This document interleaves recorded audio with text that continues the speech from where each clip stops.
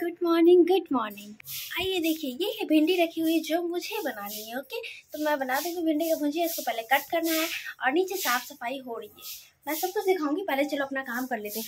ये है मेरी school bag sorry college bag मतलब बैग ही है। पढ़ाई लिखाई करती हूँ तो हाँ स्टूडेंट हूँ तो बैग तो ज़रूरी है। तो इसे पहले मैं ऊपर पहुँचा के आती हूँ, उसके बाद मैं नीचे आती हूँ। तो क्या चूहा है? सी। देखो मैं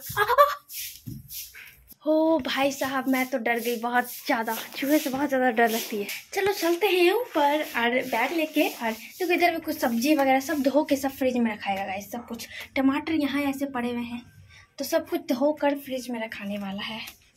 अभी बहुत ज़्यादा काम हो जाती है ना तो टाइम नहीं मिल पाता तो मम्मी सब रख देगी। कहाँ पे रख दूँ, आप लोग बता दो, मुझे कहीं जगह नहीं दिख रहा। है कि नीचे साफ़ सफ़ाई हो रही है तो मुझे मेरा बैग रखने का जगह नहीं मिला है गाइस तो इसे कहीं तो रखना है।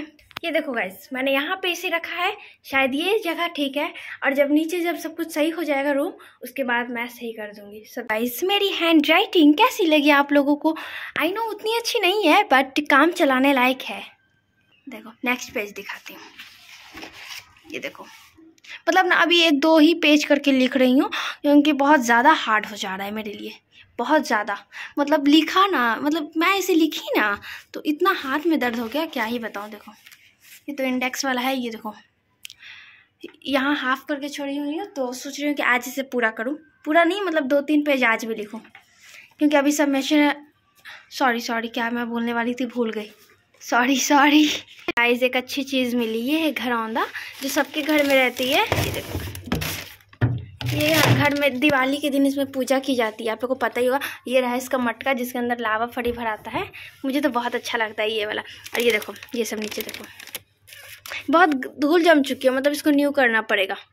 हम लोग हर साल ना इसमें मतलब स्टिकर चिपकाते हैं स्टिकर नहीं, ये मार्बल होता है ना वो, और इसको अच्छे से डेकोरेट कर देते हैं।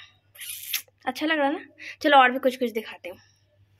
तो गाइस देखिएगा, अभी कुकर सीटी मारेगी। लड़की को देख के सीटी मारेगी, देखिएगा। जल्दी जल्दी जल्दी। मार ही नहीं रहा है। हाँ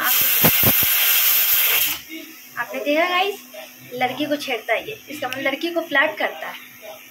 सीटी मार रहा है कुकर चलो गाइस देखिए, बिल्ली आ चुकी है यहाँ पे, और ये बिल्कुल नहीं जा रही है। मैंने इसे बहुत कोशिश की भगाने की बट ये जा नहीं रही है। जाओ यहाँ से। ओ हाँ यहाँ मेरे घर में एक चूहा भी है। ओ, समझ गए, ये चूहा के लिए यहाँ पे। जहाँ मिलेगी ना इसको मतलब बिल्ली इसको खा जाएगी चूहा को, जहाँ वो मिल गया। तो चलो, लगे रहो। मैं अपना देखो, यहाँ पे पढ़ाई कर रही हूँ। यहाँ पे ज़मीन पे लेट के एक मक्खी भी मेरे साथ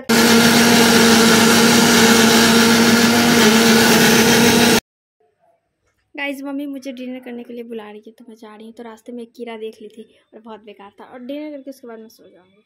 पढ़ाई करूँगी थोड़ा उसके तो guys I am really sorry really really really sorry क्योंकि मैंने अपनी ब्लॉग ख़राब कर दी, पूरी की पूरी। बट आप लोग देख लेना ओके चलो नाइट हो गई, अब थोड़ी सी पढ़ाई करूँगी, उसके बाद सो जाऊँगी। आप लोग पहले ही सो जाओ वीडियो देख लो, उसके बाद सो जाना ओके बाय बाय और वीडियो पसंद आए तो लाइक ज़रूर कर देना ओके बाय बाय फिर से आऊँगी एक न्यू वीडियो के साथ। वीडियो कम लाती हूँ क्योंकि आप लोग ज़्यादा लोग देखते नहीं हो इसलिए। और मेरा बनाने का मन भी नहीं करता है। सो ठीक है बाय बाय